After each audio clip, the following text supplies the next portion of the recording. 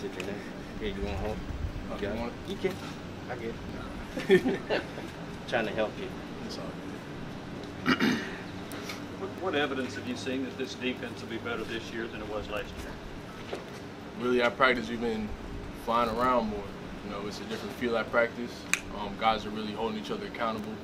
Um, guys are actually taking ownership, really taking ownership of not only getting in their playbook, but making sure the rest of their group gets in the playbook. Um, not only, you know, their position, but also the unit as a whole. So. Are you flying around more because you have a better understanding of what to do? Um, I'll say I'll say yeah. Like guys are actually trusting trusting the process, trusting their eyes more, um, reading their keys, making sure that you're in the right spot. Because there'll be times that you know you might not be in the right spot, you might not know what you're doing.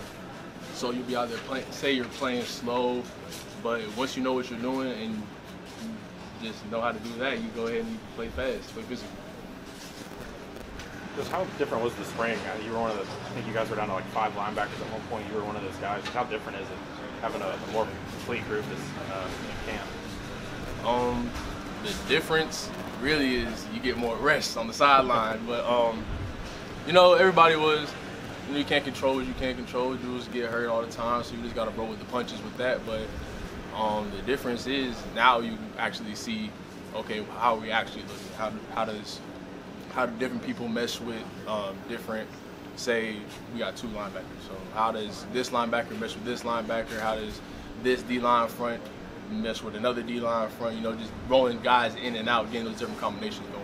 How much uh, was that opportunity for you to, to really get a lot of reps and, and improve your game with this, de- this new defense?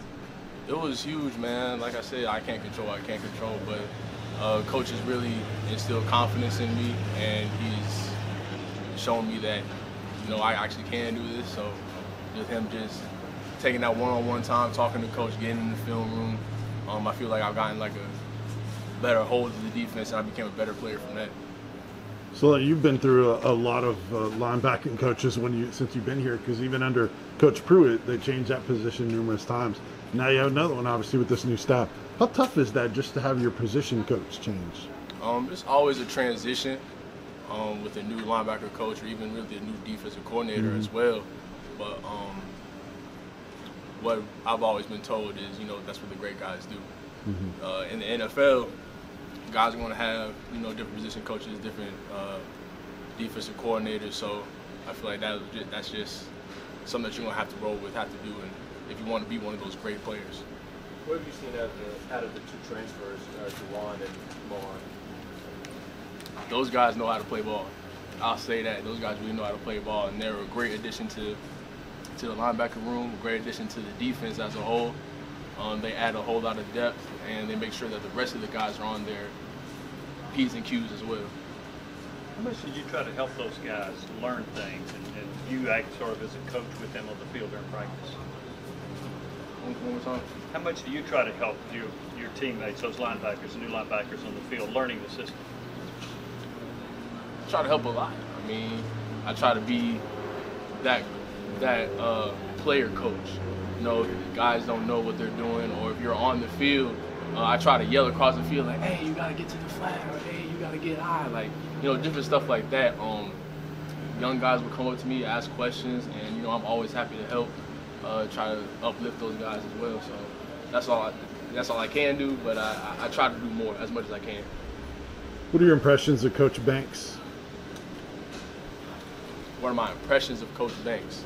Um, he coaches hard and he expects a lot of, not only out of the defensive backs where he spends most of his time, but he expects a lot out of the linebackers as well. Um, he looks at us as the quarterback of the defense. We gotta make sure that not only the D line gets lined up right, but also the defensive back has that communication between us, them, us in the D line, us in the corners, or you know, just stuff like that.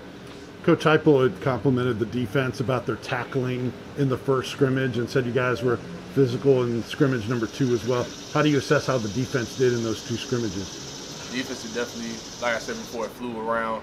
Uh, you can tell guys are really getting comfortable in knowing the defense, knowing what they have to do. Um, and we've just gotten better as a unit, you know, trusting trusting your eyes. Because if you're looking at the wrong thing, you're not going to see the ball going outside. You're not going to see the ball going up the middle.